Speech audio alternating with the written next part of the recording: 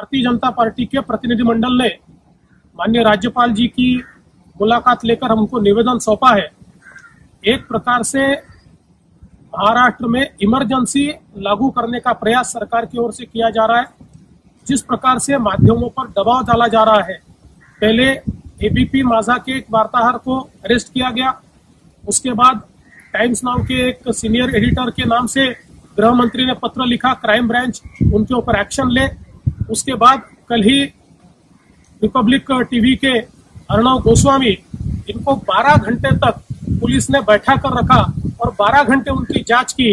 महाराष्ट्र में जो गुनहगार है, उनकी जाँच नहीं होती, उनको तो फ्री पासेस मिलते हैं, लेकिन एडिटर को 12-12 घंटे बैठा कर रखा जाता है और उनके ऊपर दबाव लाया जाता है। इतना ही नहीं तो सोशल मीडिया में एक अक्षर भी अगर सरकार के खिलाफ कोई लिखे तो पुलिस उसको पकड़ती है। और माफ़ी मांगने लगाती है।